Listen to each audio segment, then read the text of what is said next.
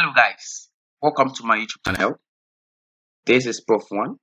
Please, if this is your first time watching my video, please check the subscription button and subscribe. My name is Prof.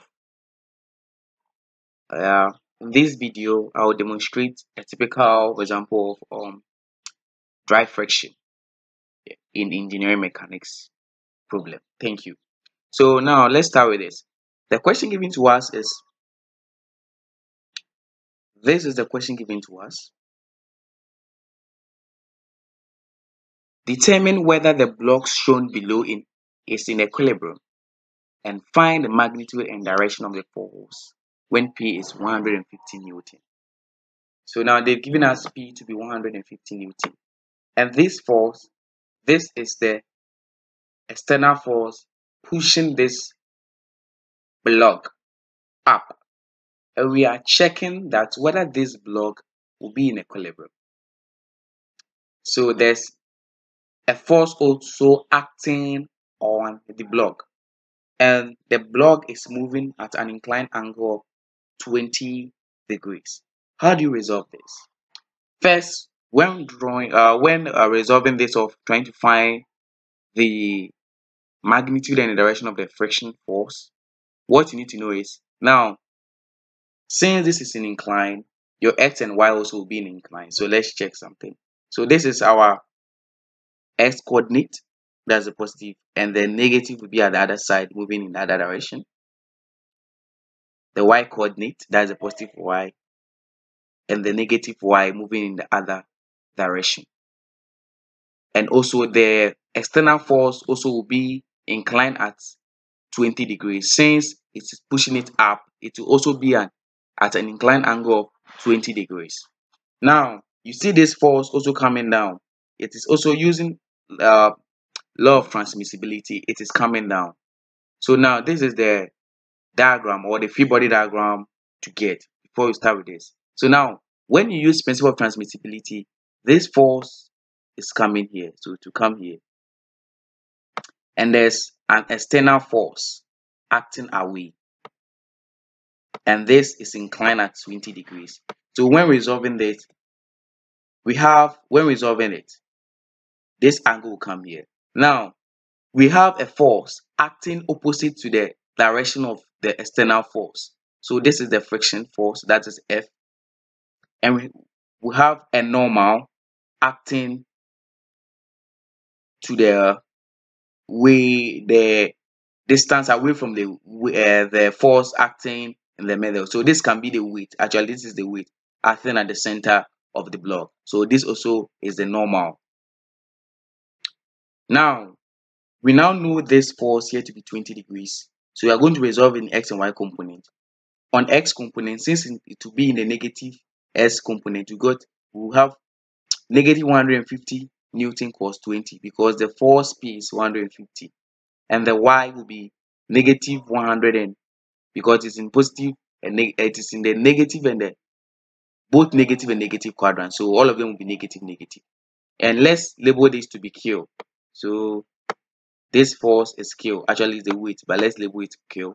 So when this force comes here it also be an incline and it will be 20 degrees. So if here is 20 degrees incline here will be 70 degrees. Mostly we work with the force that deals with um the positive x or the negative s component. So when you do that the correct way, you're going to get the qx to be 50, uh, 500 cos 70. That's 500 cos 70. And the qy, sorry, this is supposed to be y. So the qy will be 500, negative 500 because it will be in the negative quadrant as you can see. So negative 500 sine 70. So after that, what you are trying to find is we are trying to find f, but we cannot find um, unless we resolve it and get the relationship and use the uh, equilibrium that is the sum of forces in x component being equal to zero and the sum of forces in y component being equal to zero. So what you do is now is we are going to find the sum of forces moving s component to be equal to zero. So you know that f is moving the positive s coordinate p is negative plus and KX is positive. So you are going to get this. Therefore, when you resolve it correctly, you get the force to be 30, negative 30.056 Newton. Therefore, the answer will be this force acting in the opposite sense. So it means that the frictional force, this force, is supposed to act in this direction. So the negative is just showing you the direction. So make sure when you finish solving it and you, you can leave your answer in this form or you can leave it in the form with the arrow showing the direction it is going. Now we are done with the friction force and the angle will be 20 degrees. That is the angle be 20 degrees. Now they said determine whether the block shown is in equilibrium.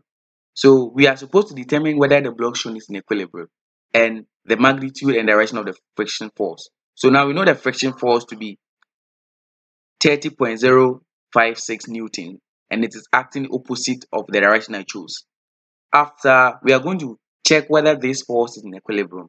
For forces to be for the above block to be in equilibrium, now the friction force must be less than the maximum static friction. That is F should be less than F max.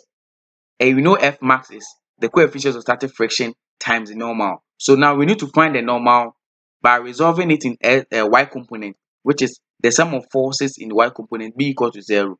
When you do that the correct way, you get n moving the opposite direction minus 500 Newton sine 70 degrees minus 150 Newton sine 20 degrees, and you get n to be 521.14 Newton. So we have our n. Now we try finding the F max to check whether F max is greater than F. If it, that is so, it means that the block will be in equilibrium. So let's do that. Now we know that our uh, uh, that the maximum static friction is equal to the coefficient of static friction times the normal. So we have our normal and we have our static the coefficient of static friction to be 0.3. So we put that inside and that's what we get. That is 0.3 times 521.14 Newton, which will give you 156.32 Newton. If we check the force, the F max is greater than the F. Therefore, if F max is greater than the F or F is less than F max, this block will be in equilibrium. So as you can see, the block is in what? It is in equilibrium. Thank you very much for watching this video. Please